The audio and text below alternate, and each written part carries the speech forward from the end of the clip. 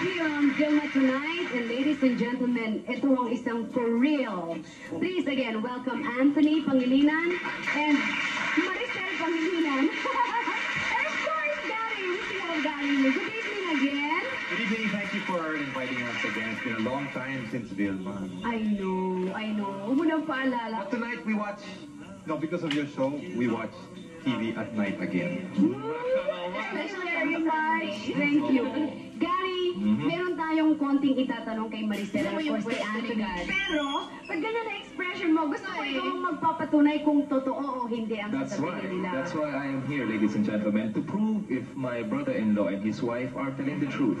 if the relationship is for real or for real. Tonight we will find out. But wala yung kapatid ko rito. Masawa nito. Dapat taas naman.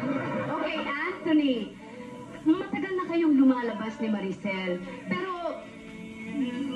yon, ang tagal mo bago parang ah, ipinakita sa kanya o yung pag-offer mo, yung, anong tawag to, nag-offer ka ng wedding. Propose? Propose ka ng wedding para kay Maricel. Why? Ah, may hinihintay ka bang signs or na ipapakita sa'yo na naniniguro kang si Maricel talaga ang babae para sa'yo? Siguro, ganun na rin. Kasi, Hold it. Yan, totoo yan. Totoo yan. Totoo yan. at sa totoo lang, Elaborate. um, the Pangilinan boys, medyo sigurista eh. You know? Um, kami yung nakiko, ganyan. So, we talked about it a lot beforehand, before we decided to commit. So, tama ba yung Gary?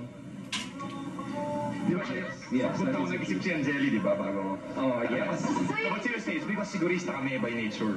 So we wanted to make sure, so you can't imagine how how we... Yeah, but are you telling are you telling us you were brought up that way na talagang in everything that you do kailangan talagang pinag-iisipang mabuti hindi lang sa pagpili ng asawa Gary, that. Gary Gary and I, we grew up together. We studied in the same school, Kabachken, sama sila. kasama ya batch That's is right. out sa Yeah. Lasal yeah No, all of Really, them- huh? all of them are That's very interesting.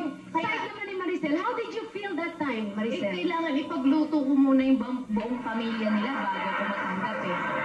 Mga kaibigan, alam mo naalala ko, Alam mo ba kung ilan sila sa pamilya nila? Ilan? Ilan? That time, labing lima.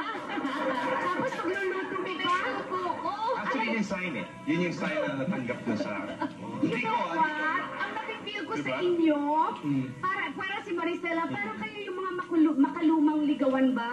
Yung kailangan ipag-iigib, papatunayan talaga. Hindi ba? Palipad ako yung nag-iigib, pag-iisipang mabuti. I had to prove myself to her mom. Like in, Also, Oo. that's very, very Kailangan important. Very particular kasi siyang eldest, you know, ni...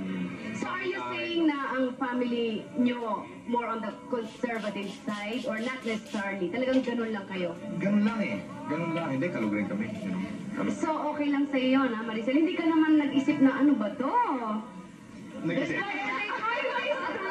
Hindi mo naisip yun, Maricel? Lagi ko siyang inaaway. Ba't ganun? Hindi, hindi ganun yung ngiti niya. Tinatanong niya. Hindi, ganun? no? And also, Gary, I heard na yung daw baby nila, itong eldest na, hindi yung coming, ay masyado raw behave. Can you tell us about your baby girl? That's true. Na kung matulog daw 12 hours na dire-diretso talaga.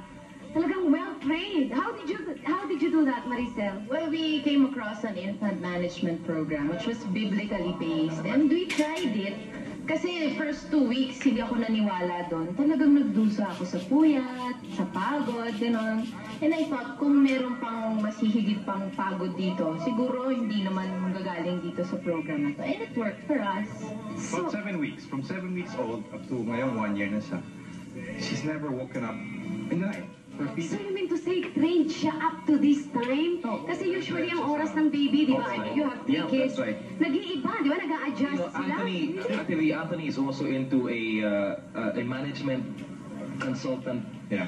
you know, something like that. Uh-huh. And so I think it's rubbed off on, on Maricel also, because really the baby is a doll. I mean, But this an wasn't angel. for me, ah. Ay, You know where, and I have to, I have to credit my wife for that. You know where she got this program? Nag-internet siya. Doon na nakita niya, meron palang isang programa na to help you make your baby sleep through the night so that Mm-hmm. you can spend a little more time with your spouse. That's very nice. That's very Ay, nice. may gusto Um, kailangan mag-meet tayong dalawa, ano? Kailangan mo also.